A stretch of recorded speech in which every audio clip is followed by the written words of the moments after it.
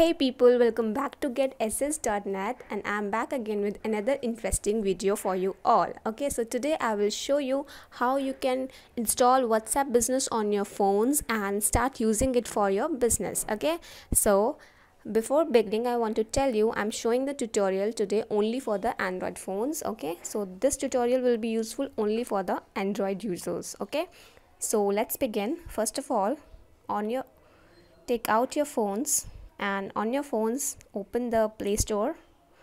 Okay in the search box type whatsapp business. Okay so tap on the first option you see. So now you have to install it. So press install. So it will start downloading. Wait till it's get downloaded. And then i will show you how you can use it for your business purposes okay? So now it has completely installed on my device. Open the app okay? After opening you have to press agree and continue to accept the terms of service of whatsapp messenger. Now here you have to enter your phone number. So do not enter the regular phone number enter your business phone number that you will use to conduct your business. After that press next now it will verify your phone number. Press ok. You will get a code on your phone number that will be automatically detected. Okay? So it has been verified. Now press continue. So allow to access your contacts. Allow whatsapp. Allow whatsapp to access your media and other files. Okay? Now here is a backup found. So you can skip it or you can restore the backup if you are interested. So I'm not skipping it. It is important for me so I'm restoring the backup. Uh, it will take a few seconds. Okay then press next. Now here you have to mention your business name not your name your business name. So I'm entering mine getassist.net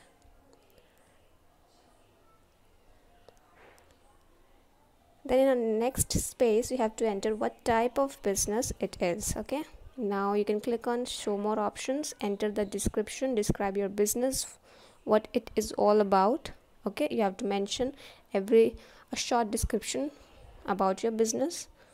Then you have to enter the address okay? Press next after you are done entering the address.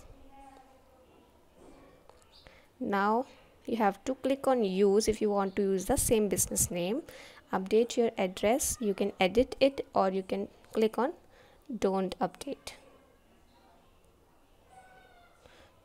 So please wait a moment. Your profile has been created.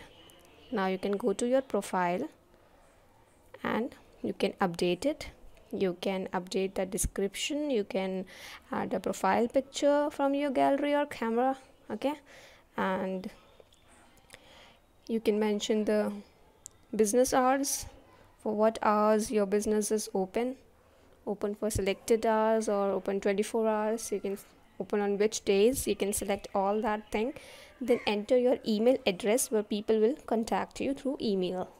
After that enter your website or if you have two websites mention both of them. Okay? You can mention if you are available right now or you're not available your current status not your your business current status okay? So once you are done with that your profile is almost ready. Save the changes. So that's all.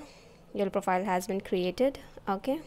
Now you can go to the settings and you can use the away message. If you are away you can use the greeting message to greet people whenever they reach you.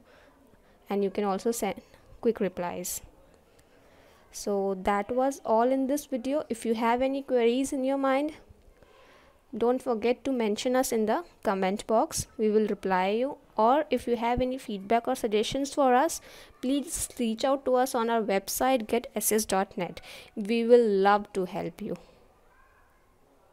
Thank you